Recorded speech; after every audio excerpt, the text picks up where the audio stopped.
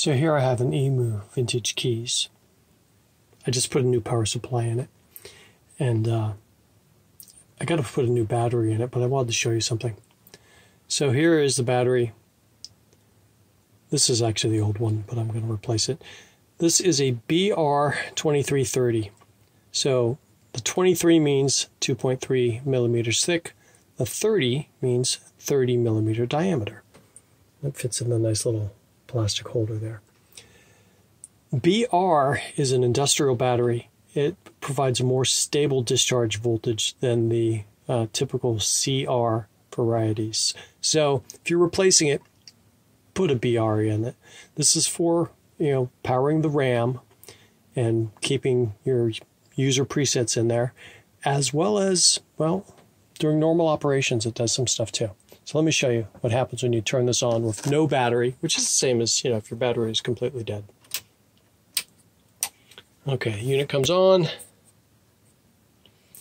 And what we got here is the preset names are all scrambled. So there's something wrong with the memory there. So we're going to shut it back down, put in the battery, and then go into uh, the diagnostics mode. And I'll show you how to do that.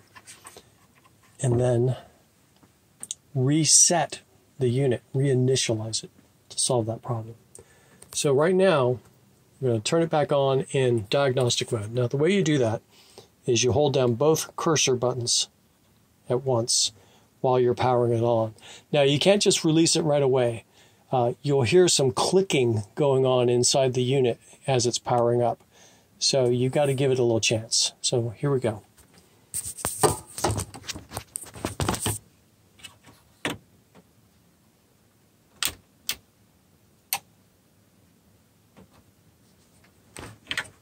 All right.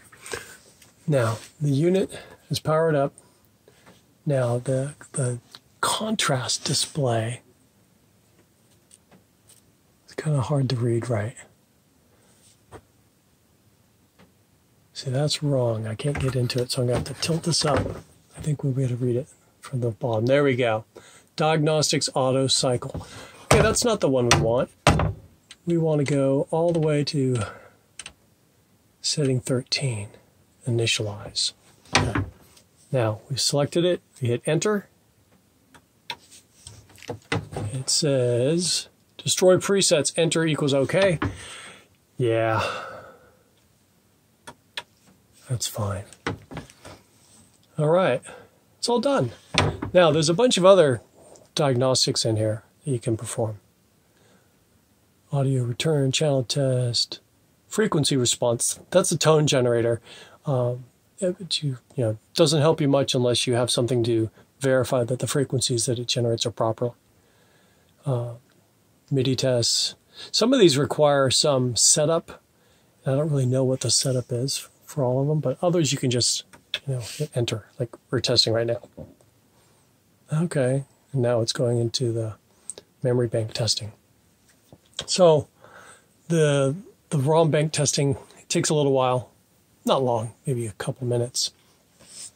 But in any case, um, that initialize trick will have completely fixed things. Okay, the testing passed. So now I'm going to shut it down, start it back up, and all my happy preset names should have been reloaded, and you can see that they have been. There you go. So that's how to uh, reinitialize vintage keys. Um, same basic same procedure on a, uh, a Morpheus as well. Uh, it's got the two cursor buttons that you hold down. On a regular Proteus, the Proteus 1, it's different. You hold down the master and the edit buttons um, while you're starting it up, and it gets you into the diagnostics. But you can do the same thing.